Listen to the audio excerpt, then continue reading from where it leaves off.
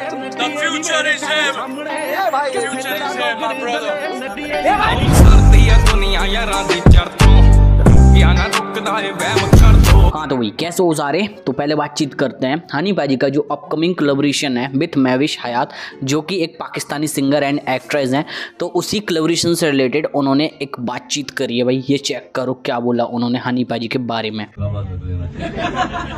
So basically uh, हमारी काफ़ी अरसे से डिस्कशन चल रही थी कि हमें कुछ कोलैब करनी है। He was working on a track to collab with me तो वो फाइनली वो हो चुका है। हमने रिकॉर्ड किया है स्टूडियो में वो सॉन्ग इट्स फन सॉन्ग बहुत अमेजिंग गाना है। मैं उसके बारे में भी ज़्यादा कुछ नहीं बता रही क्योंकि अभी म्यूज़िक वीडियो शूट होनी है देन वो रिलीज़ होना है।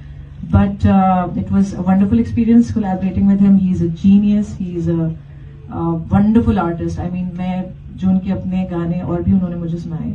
her Ghana is just insanely amazing. So it was a great experience working with him. I learned so much from him, and I'm really looking forward to uh, releasing this song ताकि आप लोग भी सुन सके क्या कमाल किया है हमने थैंक यू और इसी इंटरव्यू को हनी पाजी ने शेयर करते हुए लिखा लव यू गॉर्जियस तो अपने हनी पाजी हर एक आर्टिस्ट को ना भाई ऐसे ही अप्रिशिएट करते हैं। आगे बातचीत करते हैं तो विगड़िया हीरा ट्रैक जो है भाई कंप्लीट करने वाला है थर्टी मिलियन व्यूज़ तो जल्दी से कंप्लीट कराओ 1.5 मिलियन लाइक्स हो चुके हैं, दो लाख ग्यारह हज़ार कमेंट्स हो चुके हैं। सिर्फ़ दो लाख से कम ही व्यूज़ चाहिए अपन को थर्टी मिलियन हिट हो जाएँगे। आगे बातचीत करते हैं एक सरप्राइज़ के बारे में। अब जैसे कि अपने हनी पाजी दो दिन पहले लाइव आए थे इंस्टाग्राम पे एंड उन्होंने एक अपडेट दी थी कि वो एक एल्बम पे वर्क कर रहे जो कि एक रैपर की एल्बम है, जिसकी सारी बीट्स अपने हनी पाजी प्रोड्यूस करने वाले हैं। हालाँकि उन्होंने नेम रिवील नहीं करा था उस रैपर का। लेकिन जो मोस्टली जनता है, भाई, वो समझ गई थी कि यहाँ पे एमी की अपकमिंग एल्बम दिन और दुनिया की बातचीत हो रही है, क्योंकि आज से चार महीने पहले हनी पाजी और एमी दोनों लाइव आए थे। हनी पाजी के स्टूडियो से और वहाँ पे अनाउंसमेंट कर दी थी इन्होंने कि एमी अपनी अपकमिंग एल्बम दिन और दुनिया पे काम कर रहा है और उसमें अपने हनी पाजी बीट्स देने वाले हैं। और इसी में अपन को इनका एक कोलेबोरेशन देखने को मिलेगा प्रॉपर कोलेबोरेशन जो कि एक फ़र्स्ट कोलेबोरेशन होगा। अब आप लोग कहोगे गुड बॉय ट्रैक था। भाई उसको कोलेबोरेशन नहीं कह सकते क्योंकि उसमें बस अपने हनी पाजी ने आ, बीट्स दी थी तो वो प्रॉपर कोलेबोरेशन नहीं है।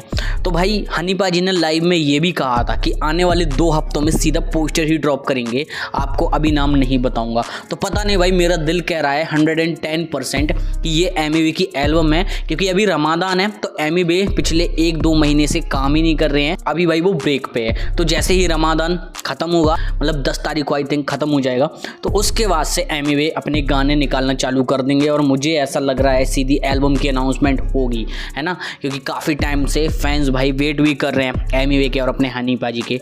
तो भाई ये पक्का इन दोनों का कोलेबोरेशन होने वाला है। आपका क्या सोचना है भाई कमेंट्स में बताओ? इसके अलावा भाई, हनी पाजी ने अपनी ग्लोरी ईपी की भी बातचीत करी थी तो उसमें उन्होंने सब कुछ रिवील कर दिया था सिवाय राइटर्स के। उन्होंने कहा था राइटर्स के नेम्स अभी डिस्क्लोज नहीं करूँगा। तो भाई मुझे ऐसा लग रहा है कि इसमें लिल गोलू की एंट्री हो सकती है, क्योंकि लिल गोलू भी लाइव आया था भाई एक दो महीने पहले, और गोलू भाई ने भी साफ़ कहा था कि हनी पाजी का कॉल आया था तो जल्दी दोनों कुछ ना कुछ साथ में लेके आने वाले हैं। धमाका होने वाला है। हनी भाई से भी थोड़े दिनों पहले ही बात हुई थी।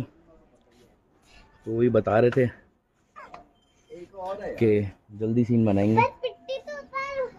तो बढ़िया खबरें आएँगी। हम्म,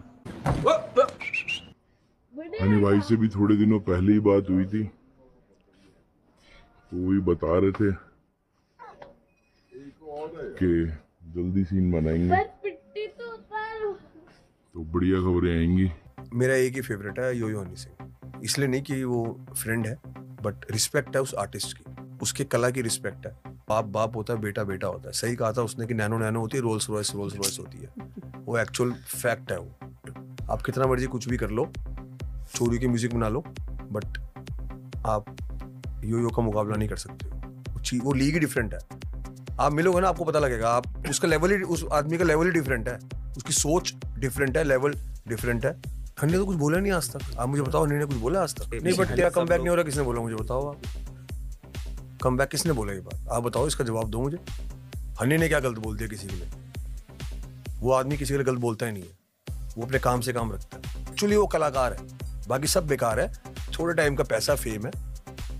और आपने जो बोला घोस्ट प्रोडक्शन करवा के, लोगों से चीज़ें खरीद के, बना के, ये सब कर रहे हैं। ये बहुत शॉर्ट पीरियड है। जब गिरेंगे ना तो उठाने वाला कोई हाथ कोई हाथ देने वाला नहीं होगा। यो यो हनी सिंह वो आदमी आज भी अपने गाने लेके आ रहा है। वो आदमी आज भी लोग उस आदमी को अपना हाथ पकड़ाने को तैयार है। यस आ जाओ। आ जाओ। हम आपके साथ हैं। क्यों? क्योंकि यो हनी सिंह ने रिलेशन बनाया है। उसको पता है कि इंसानियत क्या होती है एथिक्स क्या होते हैं लाइफ के अंदर। तो उसकी वो पीठ पीछे तारीफ़ है उस आदमी की कि वो आदमी दिल का राजा आदमी है। ऐसे आदमी इंडस्ट्री में मेरे ख्याल से इक्का दुक्का ही होंगे। हनी पाजी के कम के बारे में क्या बोलोगे आप? कम तो वो गया कहाँ था? हनी गया कहाँ थे? तो बताओ मुझे आप। एफएम पे गाने सुनते थे हनी के आप? बिल्कुल सुनते थे। टीवी पे गाने सब तब भी देखते थे। पर गाने आप सारे प्लेटफॉर्म पे गाने हनी के सुनते थे। गया कहाँ था? कम बैक तो सवाल ही पैदा नहीं होता। वो आदमी जाएगा कहीं तो कम बैक होगा ना। सब कुछ तो हम लोग आप लोग रोज तो गाने सुन रहे हैं। हनी कुछ पीरियड के लिए अगर किसी वजह से, किसी इशू को लेके अगर इंडस्ट्री से गायब रहा, उस बीच में गाने तो हमने हर प्लेटफॉर्म पे सुने हैं। एफ़ पे सुने टीवी पे सुने हमने गाने। तो गया कहा था हनी सिंह यही तो था। तो आपका क्या सोचना है? भाई कमेंट्स में ओपिनियन दो और वीडियो को लाइक शेयर कर दो। मिलते हैं नेक्स्ट वीडियो में। बाय